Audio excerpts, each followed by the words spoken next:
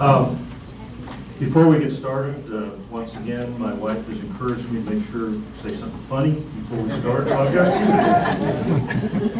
Uh, This was written by a woman uh, several years ago. Maybe some of you get this stuff. Uh, I tend to keep it, so uh, you've probably heard this before. Several days ago, I was leaving a meeting in a hotel. I desperately gave myself personal pat down. I was looking for my keys, but they weren't in my pockets. A quick search in the meeting room revealed that there was nothing there. Suddenly, I realized I must have left them in the car. Frantically, I headed for the parking lot. My husband has scolded me many times for leaving the keys in the ignition. My theory is that the ignition is the best place not to lose your keys. His theory is that the car will be stolen. As I burst through the door, I came to a terrifying conclusion. His theory was right. The parking lot was empty. I immediately called 911. I gave them my location. I confessed that I left my keys in the car and had been stolen. Then I made the most difficult call of all. Honey, I stammered. I always call him honey in times like these. I left my keys in the car and it's been stolen. There was a long silence. I thought the call had been dropped, but then I heard his voice. Are you kidding me? He barked. I dropped you off.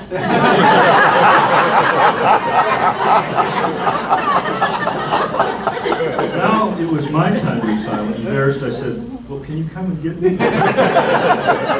He said, I will as soon as I convince this cop I didn't steal your car.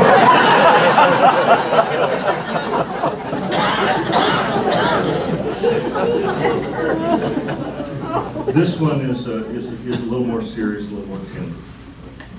Four brothers left home for college. They became successful doctors and lawyers. One evening, they chatted after having dinner together. They discussed the 95th birthday gifts they were able to give their elderly mother, who had moved to Florida. The first said, You know, I had a big house built for mom. The second said, I had a large theater built in that house. The third said, And I had my Mercedes dealer deliver an SL 600 to her. I assume that's a pretty good car. The fourth said, you know, Mama loved reading the Bible, and you know she can't read anymore because she can't see very well. I met this preacher who told me about a parrot who could recite the entire Bible. It took 10 preachers almost eight years to teach it. I had pledged to contribute 50000 a year for five years to the church, but it was worth it. Mama only has to name the chapter and verse, and the parrot will recite. The other brothers were impressed. After the celebration, Mama sent out her thank you note. She wrote, Milton, the house you built is so huge, I only live in one room, but I have to clean the whole house. Thanks anyway. Marvin, I'm too old to travel, I stay home. I have my groceries delivered, so I never use the Mercedes. But it was a good thought, thank you. Michael, you gave me an expensive theater with Dolby sound and it can hold 50 people, but all my friends are dead. I've lost my hearing, I'm nearly blind, I'll never use it. Thank you for the gesture just the same. Dearest Melanie, you were the only son to have the good sense to give a little thought to your gift. The chicken was delicious.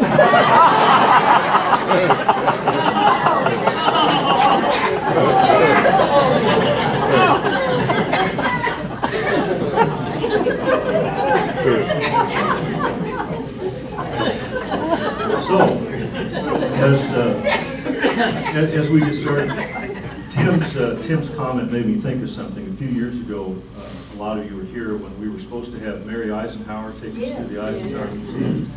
And every once in a while, Mary and I have become close friends for a lot of reasons, but she calls me every once in a while to, to let me know that something, you know, I, I I talked to her one day and she said, well, I'm on my way, I couldn't take your call because I'm in Cairo and I'm getting ready to fly to Dubai. And I said, well, I'm going to Lincoln this afternoon. You know, we have similar lives. But she called me one day and said, I have, uh, I I thought of this because of what you said about Mother Teresa. Because she said, I'm, I've been invited to Albania and I'm flying over there to receive the Mother Teresa Service to Humanity. And I thought, what a, what a great honor. And she has a connection with us all. You know, Yeah. she's very, very uh, uh, appreciative. In fact, she invited Maria and I, June 6th is uh, the invasion of Normandy, D-Day. And she's invited us to share it with her at the uh, Eisenhower Museum in Abilene.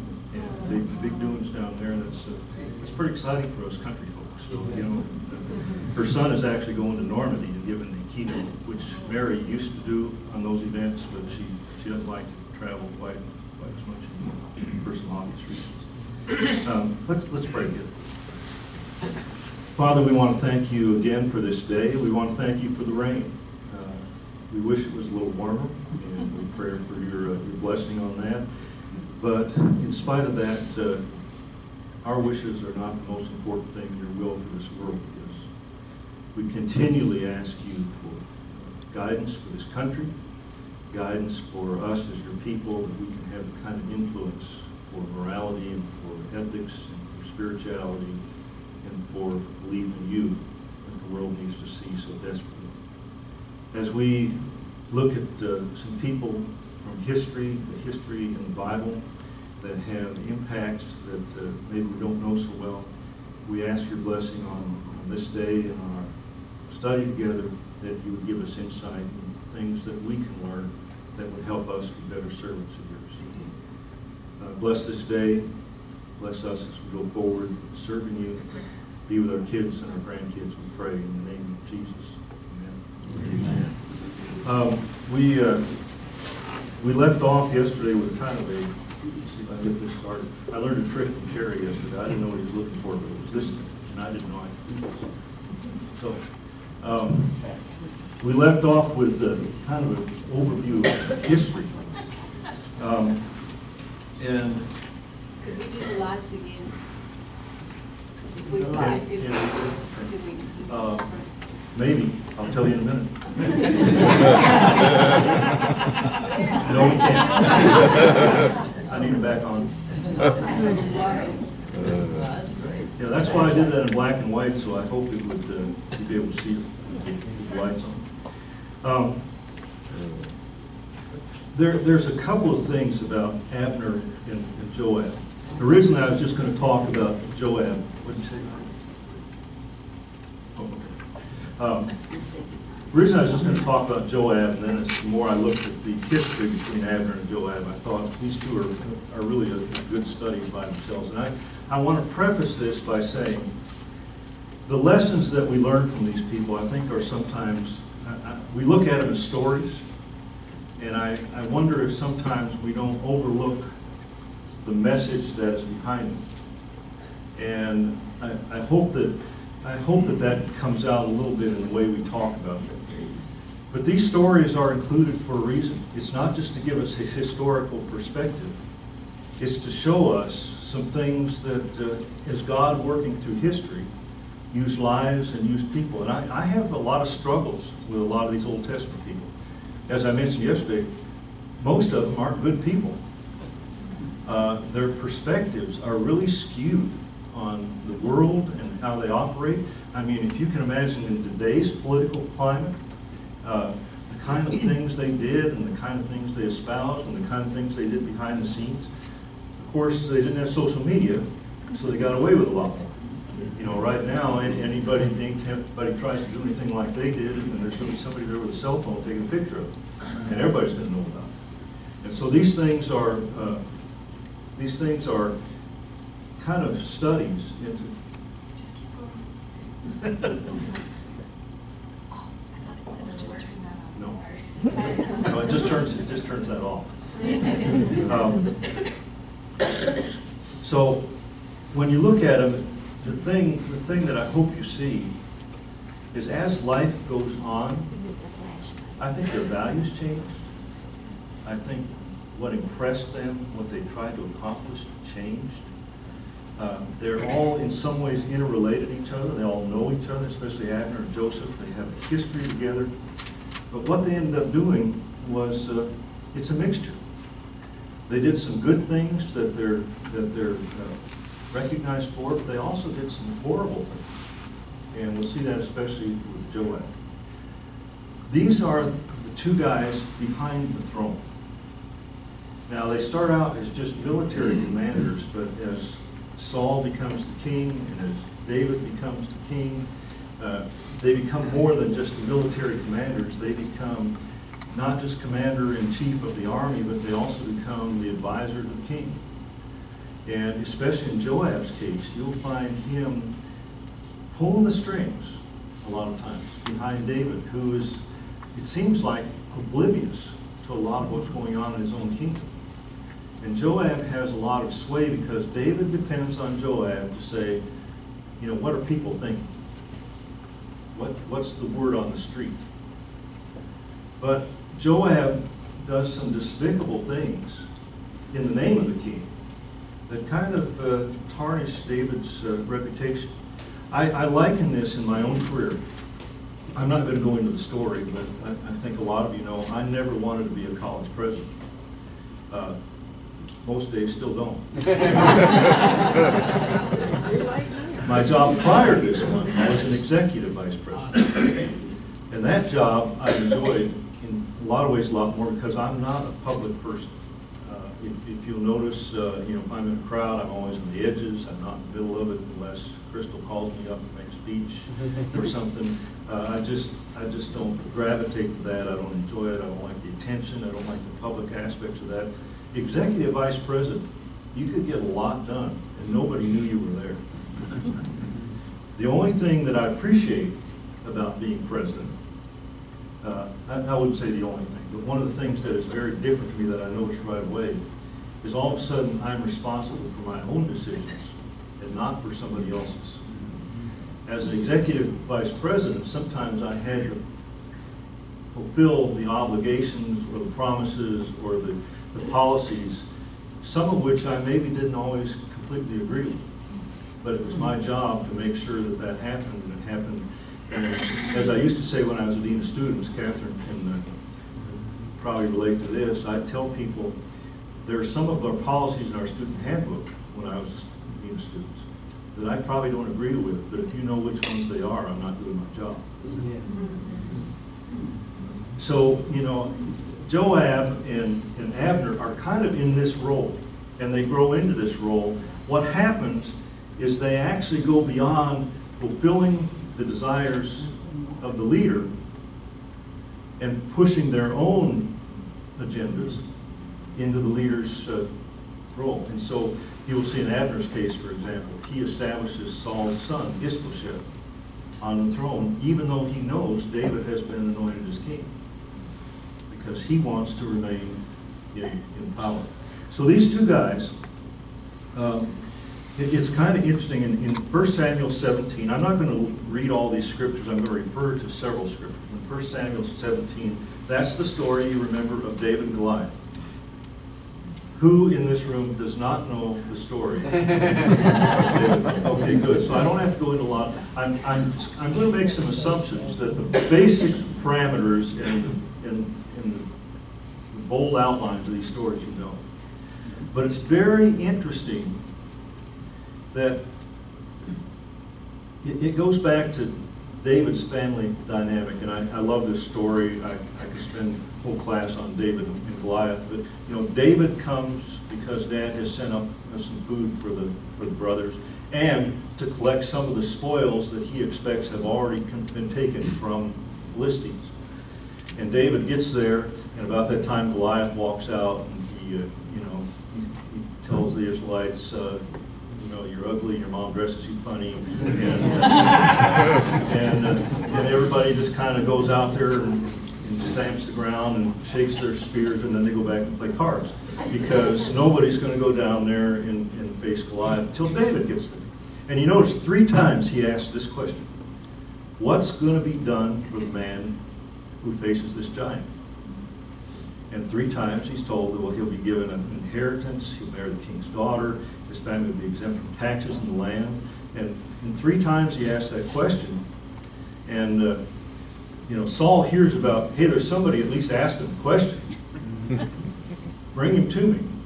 And so he sees David, he's not impressed, and, and you know that, that part of the story. Eliab, the older brother, who is an interesting study in himself, but I don't think he's a hero, so I didn't really talk about him. But Eliab, he says, who do you think you are? You know, asking, and, and I love David's response, which is, you've heard from every teenager in your life.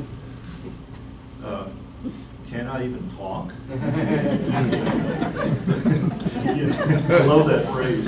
And so David goes out, and of course, you know what happens with Goliath. And it's interesting that in the last part of, of first, uh, First Samuel seventeen, this is kind of intriguing to me. Um, Saul asks, basically, here's the question. Who is this guy? Well, he's talked with him a couple of times already. And evidently, he never asked, well, who are you? Where are you from?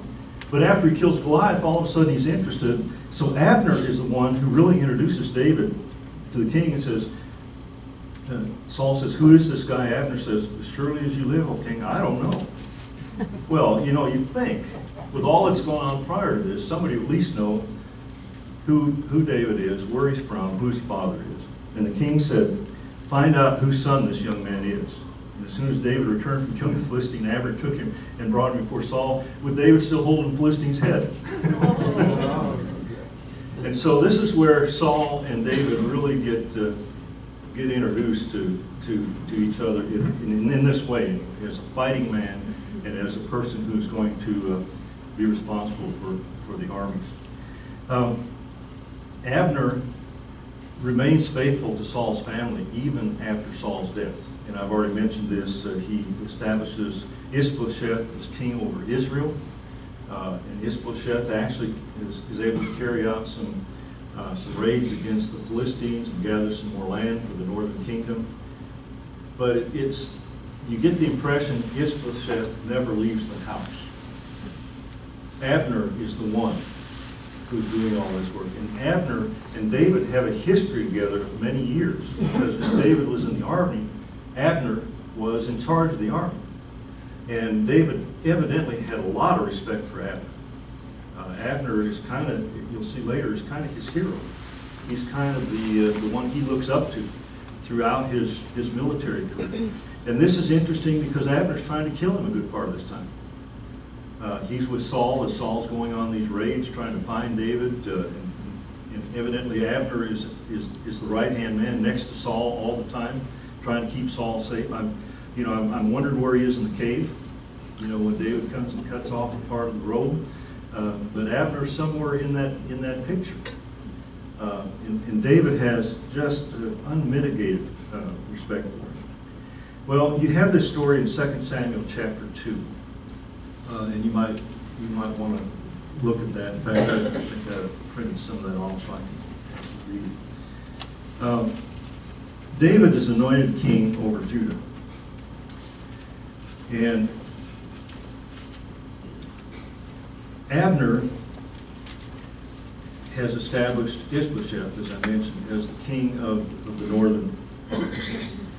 Um, it said Ishbosheth was 40 years old when he became king over Israel, and he reigned for two years. So this is not a long, drawn-out affair. Uh, You remember, we mentioned last time, David is king in Hebron for seven years. So during this time, there's this conflict going on, who's going to actually be in charge? And looking back, we can see, well, of course, we know what was supposed to happen. But during the time, people are kind of struggling with what is, what is God's will? Saul's the anointed one, and even David has said he's the anointed one. David is so reticent about doing anything to Saul or any of his family because he sees Saul as the Lord's anointed. I think part of the thing we were talking about, a man after God's own heart, is the fact that he was also anointed. But he doesn't, uh, you know, uh, Nick yesterday quoted uh, part of uh, Philippians chapter 2. He didn't count equality with Saul, something that he should hang on to. He humbled himself. And throughout, throughout this rocky relationship, I mean, Saul, how many times Saul tried to kill him? And, and David just still will not raise his hand against the Lord's anointed. I, I think that is, uh, that's pretty phenomenal. Um, Now, I do want to point out then that Joab enters the picture here as far as as far as what we know. Joab is the son of Zeruiah. Now, this is interesting because Zeruiah had three sons, and they're all part of this, uh, all part of this process that we're going to see. But Zeruiah is not the father's name. We don't know who the father was. Anybody know who Zeruiah was? David's sister. And so Zeruiah is, is David's sister. Joab is his nephew. And so it's very possible they're close in age because Zeruiah is probably older than David. Uh, Don't know how much, but they're of similar age. And that, I think that comes into play because I mentioned David dies somewhere around 70, 74 years old. Joab's probably close to that age himself when Solomon takes over the kingdom and has Joab killed. So he has a long career, a long career serving David. Um, there's a story in chapter 2 of, of 2 Samuel about Abner's forces and Joab's forces meeting at the pool of Gibeon. And I, I mentioned this briefly yesterday, they square off, they get 12 from each side, they square off and, and go after each other, and all 24 kill each other. 12 kill 12. They all, it says they all fall, so nobody's the winner. So that then starts the battle. And it's kind of like, it's almost like Goliath. You know, you always send a champion out. Uh, You know, Goliath would come out and, and taunt the Israelites, and the whole idea is probably not so much, and, and getting to Saul's thinking, it's probably not so much that I expect David to kill Goliath, but that that's going to start the battle, because when they kill this poor little kid out here, you know, the army's going to get kind of revved up, and, and we're going to get the battle started. And no one expects what happens with Goliath. Well, that's kind of what's going to happen here. These 12 men from each side are going to go meet each other, and they're going to have this fight, and that's going to get the battle started. Well, they all kill each other, and then uh, Joab's people, uh, you know, his army goes after Abner and, and basically uh, wins the battle. But Abner runs away. And Asahel, I have that up, Asahel is one of the brothers of Joab, one of the three brothers. And he's the youngest brother, and he decides to go after Abner because if he can kill Abner, you know, that pretty much means the war is over. And Abner stops him twice in this, this account and says, Asahel, is that you following me? And he says, yes, it is. I'm going to come after you and I'm going to kill you. And Abner says, depart, you know, go another direction because I don't want to have to kill you. And Asahel, uh, you know, kind of full of himself, says, no, I'm going to, I'm to come and get you. And he finally chases him down and gets him. And it says Abner takes the butt, of, butt end of his spear and, and runs it through Asahel and kills him on the spot. And the, the body lays there, it says the armies go by and they all see Asahel and it kind of, once again, gets them fired up for, for the battle. But that's not what Abner wanted. Uh, in fact, Joab pursues him and Abner finally uh, yells at him across from the top of the mountain saying, is this really what you want to have happen because of this revenge? You want to keep this battle going? Joab turns away and says, you know, I've been wrong about this. And he goes back to David. So Abner's still alive, but he's still fighting for Ishbosheth. He has Ishbosheth on, on the throne. Uh, but then Ishbosheth, and I've, I've, I've seen this read two different ways, that Ishbosheth accuses Abner of sleeping with his father's concubine. Now, one account I've read, and I kind of agree with, says Abner gets upset at this because he said, you know, that you're, you're calling me a dog, that I would do something so offensive as this. Uh, Another account says uh, that they believed uh, Is- Ishbosheth and that that probably happened. Reminds me of the Brett Kavanaugh hearings. You know, it's a he said, she said kind of thing, and we really don't know what happened one way or another. My, my personal opinion is that Abner is wounded by this because it's his reputation. Let me just go aside here, because that's one of the things that worries me most right now about our society and our culture and what we're living in. An accusation amounts to uh, a guilty verdict. And people really can't defend themselves. And I, I, I worry about this because there have been situations on this campus, not with our students, but with people that uh, uh, touch us and touch our lives here, whose reputations are uh, questionable because someone has brought an accusation I don't know whether the accusation is true or it's not. But it happens, and it's happening with more and more frequency in our society. And it scares me because somebody could pick anything out and say it about you and put it on social media, and all of a sudden it becomes a fact. And you can never totally recover. That's worrisome to me, because you don't really have to have proof anymore, you just have to have opinion. And so, you know, I hear, I, I guess it worries me as much hearing that on news broadcasts about this is, uh, you know, this is what this person did, and we know that the reason for them doing it. I thought, you don't know that. You don't have any idea. But people are convinced. Do you know where young people are getting most of their news these days? YouTube. Number one source of news for young people. They aren't watching the broadcasts on TV, they aren't listening to radio, they're going to YouTube. And of course, what they're doing is they're picking out whatever they agree with. And that's how, and, and so we wonder how this society we're getting is becoming so divisive. You know, a lot of it's, uh, a lot of it's because of the way we get our, way we get our news. Um,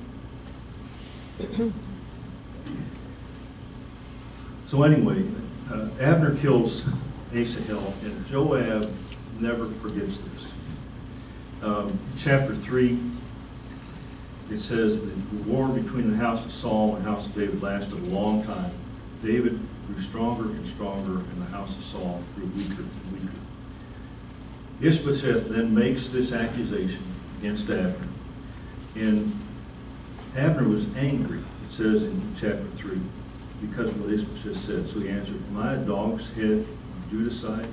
This very day I'm loyal to the house of your father Saul and to his family and friends. I haven't, and I haven't handed you over to David, yet you now accuse me of an offense involving this woman. May God deal with Abner, be so dearly, if I don't do for David what the Lord promised him on oath. That part to me was interesting because he already knew what God promised him. And he hasn't been a part of it until now. Now he goes over to David. Uh, Samuel chapter three. Um, Ishbosheth did not dare to say another word to Abner because he was afraid of him. That phrase is important. We're going to see a similar phrase about Joab from David. That the kings are afraid of these military commanders who are actually running, running the kingdom, making public policy. So Abner sends a message to David and says, I want to meet with you. So he brings, uh, he brings 20 men and he goes and sees David. Uh, David said, I'll make an agreement with you, but I demand one thing. Don't come into my presence unless you bring Michal, daughter of Saul, when you come to see me. Remember who Michal is? David's, David's very first wife.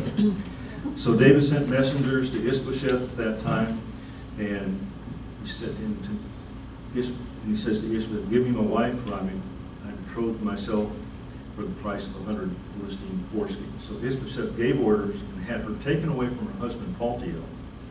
Her husband, however, went with her, weeping behind her all the way to the room. Then Abner said to him, go back home. So he turned and he went back home. So Abner comes and meets with David. Michal is, is there, so that satisfies David's condition. And David, David kind of makes peace with Abner. And he tells Abner to go home. Well, then Joab comes. He's been out on a campaign, and he comes back in and he says, what, what, did, what did you agree to? And David said, Abner is going to join our forces. And Joab says, don't you know that he was just scouting you out to see where your weak points were because now he's going to come and attack you? And so David says, well, go and bring him back. So Joab goes and gets him. Um, let's see, and he takes him to Hebron, and he meets with him privately, and he kills him. So Abner thinks that there's going to be this reconciliation, that everything's going to be, and remember, he didn't want to kill Asahel. If Asahel hadn't pursued him, he wouldn't have killed him. But, but Joab is taking this personally, and so now Joab uh, kills Abner. And this really could have been, uh, could have been a de- defeating kind of thing, but David turns it into something great. Um, David mourns for Abner. And he says, tear your clothes and put on sackcloth, 1 Samuel 3, and walk in mourning in front of Abner. King David himself walked behind the bier. They burned Abner and he buried Abner in Hebron, and the king wept aloud at Abner's tomb. All the people wept also. Abner was a kind of a folk hero in, in the land of Israel. And, you know, we're gonna, we're gonna talk about Michal in a minute, kind of what happened to get her where she was in history. But at the same time, Abner is, uh, has been with Saul all the time as the people watched God establish the first unified kingdom. It wasn't just Saul they were looking at, but it was the influence of of Ab- Abner, who still had that influence even after Saul died. Um, They all came and urged David to eat something while it was still David. David took an oath saying, May God deal with me, be it ever so severely, if I taste bread or anything else before the sun sets. All the people, this is a, I think, a telling phrase, took note and were pleased. Indeed, everything the king did pleased him. This is why David is so loved. He's not a good ruler, not a good father, but he has these instincts, he has the spirituality, he has this love for God, he has this humility that, that makes him the kind of person that people respected and loved. So on that day, all the people there in Israel knew the king had no part in the murder of Abner, son of Ner. Then the king said to his men, Do you not realize that a commander and a great man has fallen in Israel this day? And today, though I am the anointed king, I am weak. These sons of Zeruiah are too strong. You- You notice that phrase? These sons of Zeruiah, my, my nephews, are, are hard to deal with. May the Lord repay the evildoer according to his evil deeds. So, that introduces us kind of to Joab, who is, uh, is related to David. He becomes the right-hand man, he is leader of the armies, and I've already talked about Joab, Asahel, and Abner. Uh, he is also the one who David goes after he sees Bathsheba. And he says, I need you to put Uriah at the front of the, of the war so he can get killed. Uh, So I can, I can take care of this situation with Bathsheba. And it's, now, I think there's probably, we'll see it probably tomorrow, maybe, maybe or three. But there are probably other people in the palace who have some knowledge of this, but for the most part, Joab carries out, I mean, this, once again, uh, David doesn't condemn Joab for Uriah's death, because he commanded it. But he does condemn him for the deaths of Abner, and then later for Sorry, did I hit, hit a button when I didn't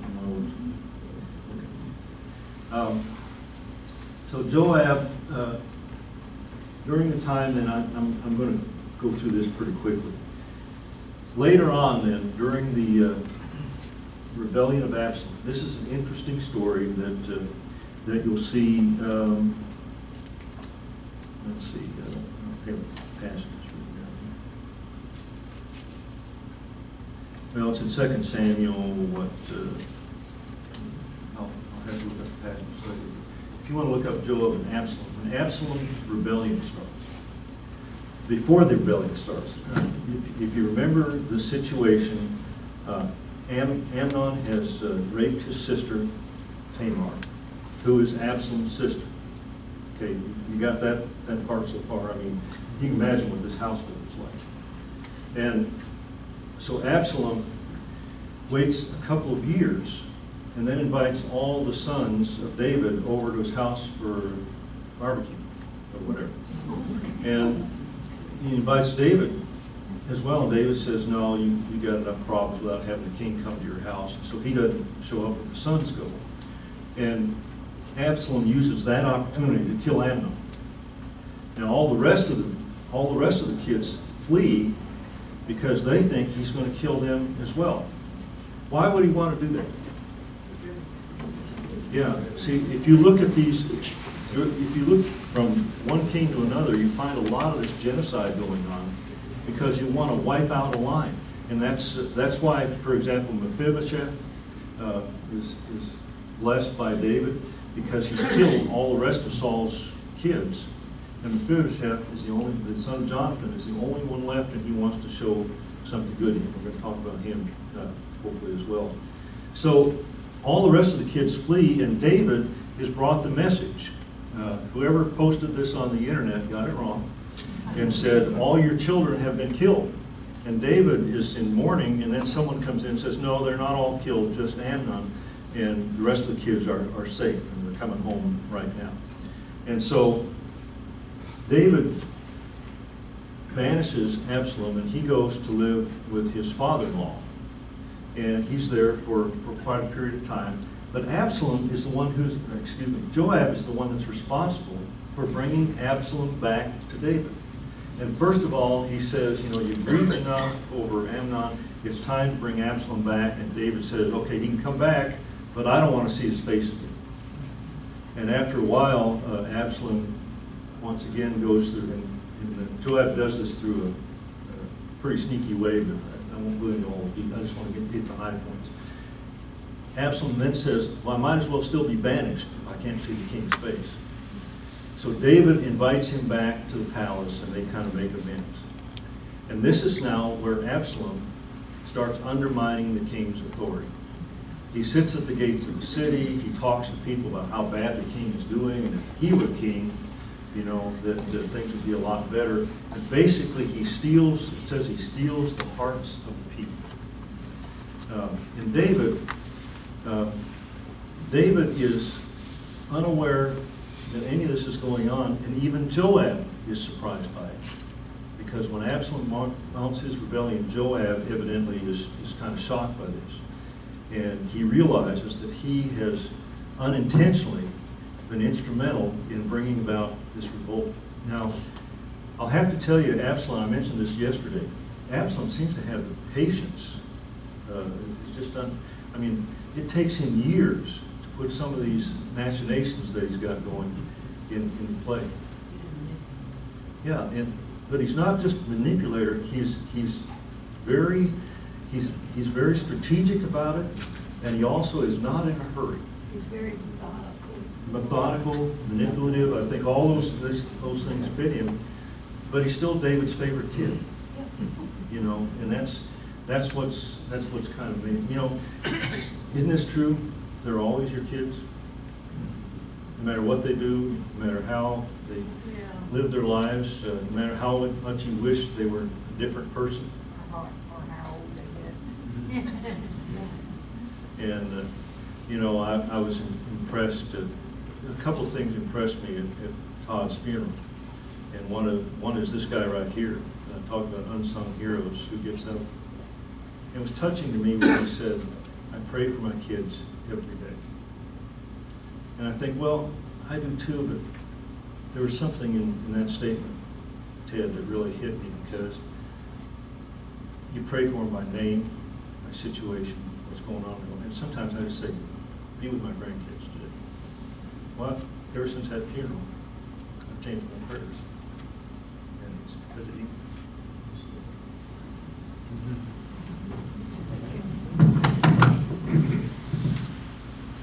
So, David, you know, has a special son who's the one who's out to get him. It, it appears like Absalom doesn't have much of a conscience. Uh, His conscience is based in revenge. You know, he wants to get Amnon because of his sister Tamar, who it says lives in a palace the rest of her life, never marries. You know, she, she's a ruined woman. And so he's got some justification in what he, what he does, but at the same time, the way he goes about it is underhanded and is sneaky.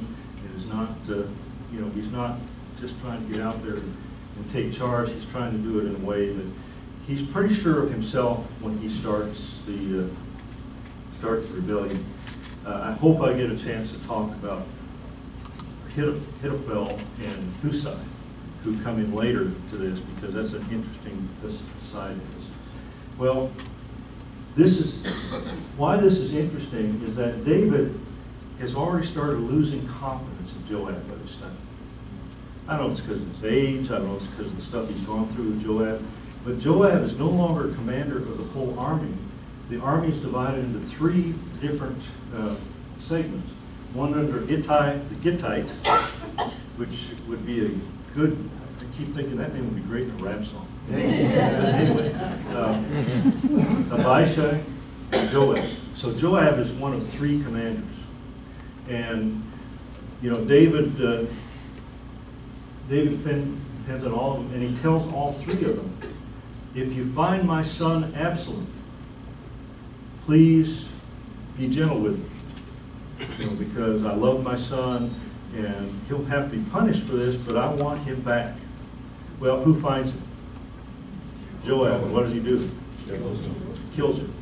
You know, says, put three darts in it, three spears, three arrows, whatever, whatever they are. And he kills him. And, and, uh, you know, David, of course, mourns that, and then Joab's the one who says, hey, get over it. He led a rebellion against you, the people want, want to uh, see you up leading, leading the nation again. And so Joab even robs David in some ways of his grief. Um, And you know David grieves because remember Bathsheba's first child that dies. You know, he won't, uh, he, he won't eat, he won't drink, he won't do anything until that, that baby uh, passes away. So at this point, Amasa is made the commander of the armies. Joab still is not uh, back in the role that he was. Obviously, he's a little older now. Well, in 2 Samuel 20, Joab, Amasa is given a task to, uh, to go put down a rebellion of Sheba. And for some reason, he delays in doing that, so Joab takes over and goes and, and starts the attack. Amasa comes up and Joab kills him. So you notice, Really like to kill him, didn't he? well, that's the way, yeah, that's the way you got rid of opposition. You didn't sit down over a table and talk about it, you didn't, uh, you didn't impose sanctions. Uh, You just, uh, you just killed them. And so, you're gonna see, you're gonna see when David gives the command to Solomon. It's interesting to me that he doesn't say, I want you to make sure Joab dies because of Abner and Absalom. He says, I want you to make sure Joab dies because of Abner and Amasa. And so these commanders, and so then Joab takes over the role of commander-in-chief in the army once again. He puts himself back into that role. And David evidently doesn't have enough power to tell him you can't do it. I mean, that's a very interesting dynamic that I don't fully understand. But he is the one in 2 Samuel 24, when David says, I want to count the, I want to take a census, I want to count the fighting men. And remember, there's been prohibitions against that. And Joab is the one says, you shouldn't do that. You don't need to do that. So there's, at the same time, there's this sensitivity to, to God's will and to God's command that Joab has that even David, you know, you, you realize, don't you, that none of these guys ever read the Old Testament? So a lot of the things that we take for granted that they should have known uh, are not, you know, I, I think of when they, when they come back from the exile and they start reinventing temple worship, because no one has ever seen temple worship. And they have to go back and find the law and and read it. And, uh, you know, this happens periodically through Israel's history where they just kind of forget. And, and so there's no, uh, there, there's no really way to look at this, except Joab seems to have a better sensitivity for it than David does. Um, But then later, as David, it says, as he is waning, he's become weak, he's bedfast. Uh, They have this uh, servant girl, Abishag, who is brought to him to keep him warm at night. Uh, Don't know what else she did, but there's something going on there. But um, at this time, Adonijah, who's the, another one of David's sons, uh, is not necessarily taking the throne, but Joab is ready to put him on the throne. And so at this point, you remember, this is when Bathsheba comes to David and said, you need to make a decision before you die, where you still got your mental faculties, you need to establish who is going to be the next king, where there's going to be war in, in the country. So that's when David names Solomon as, as the king. And so, um, I'm, I'm sorry, I, I, why was there an objection to a census? That's, the, the Old Testament prohibition, I'd have to look it up because I don't remember where it is, maybe, maybe Terry has it off the top of his head. Uh, it- it deals with the fact that they were never supposed to take a census because God was their ruler and he was going to take care of them. David is taking a census because he wants to describe how big his army is. Oh, okay. And so it's a matter, of it's a matter of pride, and it's in some ways like Saul when he offers the uh, the sacrifice without waiting for Samuel, because he's taking a role that was not, not given to him. God has said, I will be, I will fight for you. You don't need, you don't ever need to, and there's no standing army during this time. I guess we realize that. When we talk about these armies, these are volunteers that, that come out of Judah and come out of the other nations, the other tribes of Israel to, to follow their king. But there isn't a standing army that's in place, that's uh, a military base somewhere being fed and clothed and housed and all those kind of things. It's just a, it's just a volunteer group. that- The numbers seem phenomenal. You know, sometimes we read about the thousands of people that show up at these battles. But uh, they are all people that are coming to support their cause. So David's charged to Solomon. Now, you yourself know what Joab, son of Zeruiah, did, what he did to the two commanders of Israel's army, Abner, son of Ner, and the Amasa, son of Jehu. He killed them, shedding their blood. And I told you yesterday, this is, this is a pivotal passage in the seventies, when I was uh, eligible for the draft. Shedding their blood in peacetime as if in battle. So there is a difference between battle and murder, okay?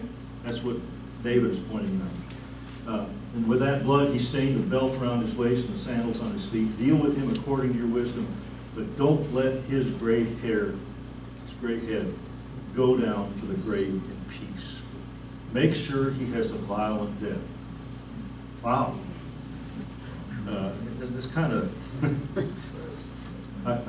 You didn't want to make David mad. I mean, he's probably not going to take care of it, but he's going to make sure it gets done.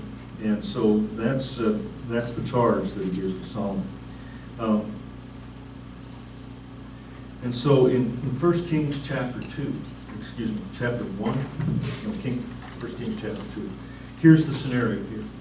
Adonijah has been stripped of power. He's no longer uh, vying to be the king because David has said, my heir is going to be Solomon. And so uh, Adonijah, previous to this passage, has come to Bathsheba and said, would you make a request to the king? Uh, Well, she goes to Solomon, and he says, Mom, whatever you want. You know, he has a throne brought, sat next to his throne, says, Mom, whatever you want, that's what you're gonna have. And so she says, well, I would like Abishag, the Shunammite, to be given to Adonijah. That's David's concubine in his later years that kept him warm at night. And evidently uh, Adonijah is smitten by her. And he says, why do you request that? You might as well request the kingdom. After, he after all, he is my older brother. Yes, for him and for Abiah for peace, and Joab, son of Zeruiah. In other words, if I give in to this request, I'm giving in to a request for people who opposed my kingship, that opposed David, that uh, have tried to topple the kingdom. If you're going to ask for that, I might as well just give it all over to him. And so King Solomon swore by the Lord, may God deal with me, be it ever so severely, if Adonijah does not pay with his life for this request. And now, as surely as the Lord lives, he who established me securely on the throne of my father David has founded a dynasty for me as he promised. Adonijah shall be put to death today. So Solomon gave orders to Benaiah, son of Jehoiada, and he struck down Adonijah and he died. Uh, Well, yeah, they're just, uh, there's a lot of that going on. To Abiathar, the priest, the king said, now I'm gonna let you go back to, to Anathoth, where you came from. You deserve to die, but I'm not gonna put you to death because you carry the ark of the Lord before my father David and shared my father's hardships. So when the ark came back to Jerusalem, uh, he was the priest at the. So Sol- Solomon removed him from the priesthood, fulfilling the word the Lord spoke to Shiloh about the house of Eli. You have to go long, back a long way for that one, but he said the the priesthood is going to depart from your family because you have not raised your kids right. And so this is how that takes. When the news reached Joab, who had conspired with Adonijah, but not with Absalom, he fled to the tent of the Lord and took hold of the horns of the altar. Now, this to me is kind of interesting because when King Solomon was told that, he ordered Benaiah, go strike him down. So Benaiah entered the tent of the Lord and said, the king says, come out. He said, no, I'll die right here. So Benaiah said, this is how Joab answered. The king said, well, do as he says, go in, the- go in the temple, strike him down. The Lord will repay him for the blood he shed, because without my father David knowing it, he attacked two men and killed them with a sword, both of them, Abner, son of Ner, commander of Israel's army, and Asa, son of Jehu, commander of Judah's army, were better men and more upright than he was. Now, if there, if you think there's any problem with this, Exodus twenty-one, anyone who strikes a person with a fatal blow is to be put to death. However, if it is not done intentionally, but God lets it happen, they're to flee to place I will designate. But if anyone schemes and kills someone deliberately, that person is to be taken from my altar and put to death. So actually, it's, it's, it's fitting right in with the scripture. So Benaiah went up and struck down Joab and killed him. He was buried in his home mountain country. The king put Benaiah, son of Jehoiada, over the army in Joab's position and replaced Abiathar with Zadok, the priest. Now, I plan to go into a long discussion of Michal and uh, Abigail, but we're of time. So, uh, you know, I, I just want to come back around to this. The reason I put these as unsung heroes is both of these guys and David are flawed people. Sometimes they did the right thing, sometimes they didn't. I, I remember one time, years ago, we were having, uh, I was preaching at this church, and somebody called for a teacher's meeting. Uh, And uh, I, I went to the teacher's meeting, and I noticed Doug was there. I don't remember Doug's last name. Doug was the old uh, grumpy guy you have in every church, who kind of, you know, wants to get on everybody's case, and I thought, why is Doug here? He doesn't teach class.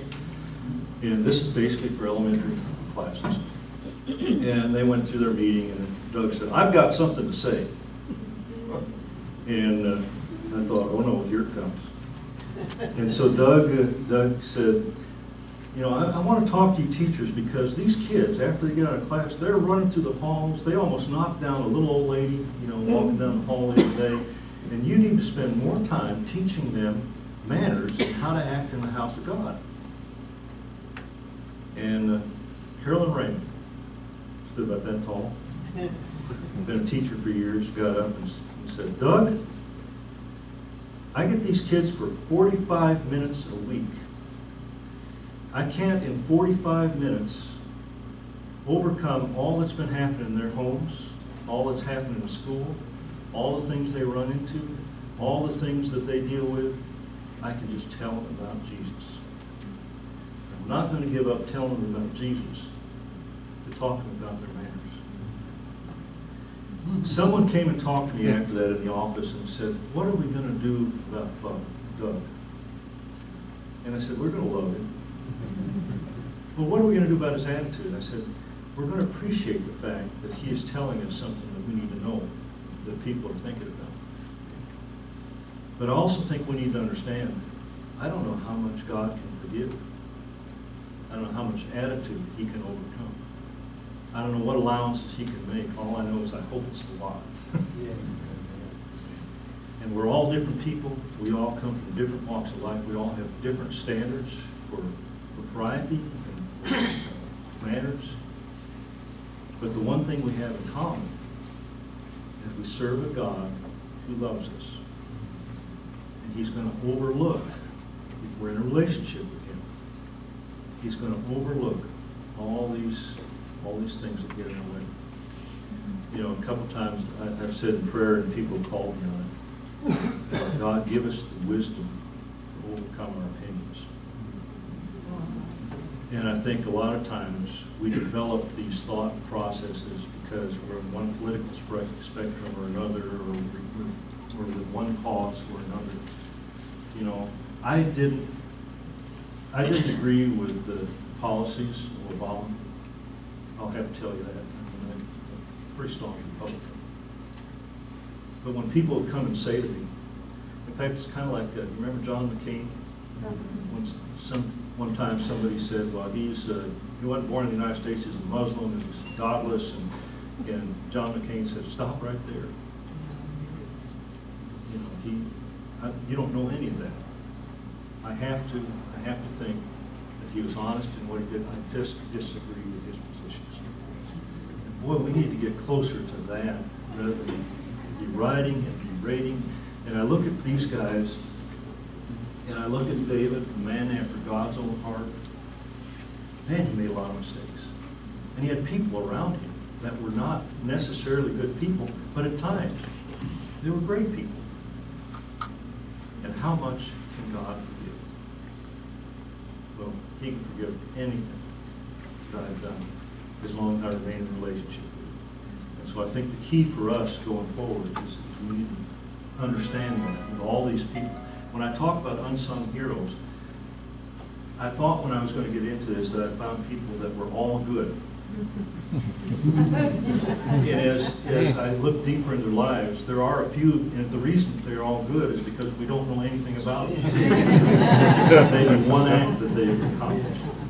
But you look at the, a lot of the other people, and they're human beings, just like you are, I am, and the people around us, and the people that sometimes we disagree with. It, it's not that God doesn't love us, or that he doesn't love them, it's that he puts up with all this stuff because he loves us so much. And so, you know, I think for today, uh, I'm about five minutes over, so we'll leave it there, and come back and talk about some more tomorrow. Uh, I can't tell you, I'm kind of like Terry, I I guess uh, four or five chapters I'm going to have to leave out.